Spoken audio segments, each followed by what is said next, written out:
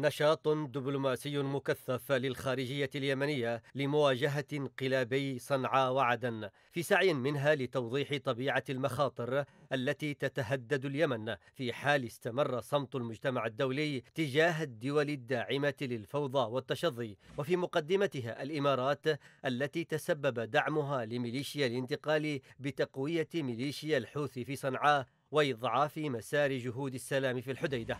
اليمن وعلى لسان وزير خارجيتها محمد عبد الله الحضرمي وضعت الصورة الكاملة على طاولة واشنطن لما ترتكبه ميليشيا الحوثي من خروقات لاتفاقات السلام. وأكد الحضرمي خلال لقائه بسفير الولايات المتحدة الأمريكية لدى اليمن كريستوفر هنريل على تمسك اليمن بالمرجعيات المعلن عنها كطريق لإنهاء الأزمة اليمنية.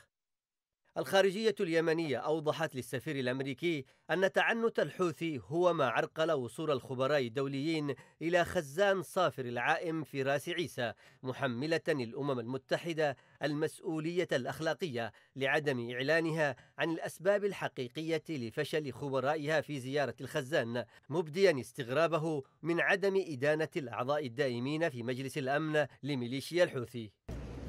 لقاء نائب وزير الخارجية بالسفير الأمريكي تزامن مع إعلان الأمم المتحدة عن تعيين رئيس جديد للجنة تنسيق إعادة الانتشار.